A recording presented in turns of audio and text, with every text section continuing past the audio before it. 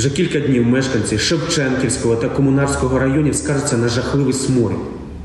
Дуже багато людей повідомили нам про те, що вони вимушені спати за чинними вікнами, а у деяких містян навіть розпочалися алергічні реакції. Оперативне визначення причин та джерел цього отруйного запаху ускладнилося тим, що мобільний моніторинг довкілля не міг працювати під час дії комендантської години.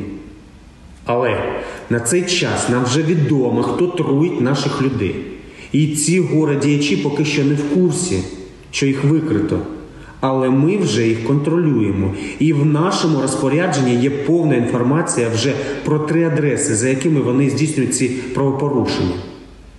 За однією з них знаходиться одне доволі велике підприємство, розташоване саме у Шевченківському районі. Тепер, нешановні порушники, чекайте нас у гості і в комендантську годину теж. І вам доведеться відповідати за свої дії. До речі, великим здивуванням для мене було дізнатися, що до цих викидів повітря є причетний один з горе бізнесменів нашого міста, який стоїть за діяльністю вищеназваного підприємства.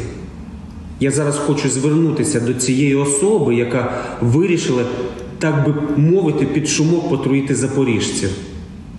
Я знаю, що ви не пропускаєте жодного мого звернення і не пропустите і це.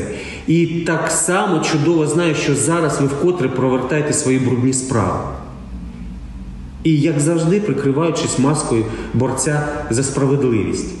Так от пропоную вам негайно врегулювати свою роботу і припинити труїти людей. Трохи це знаєте не на часі. І не почуйте мене зараз, перейдемо в іншу площину.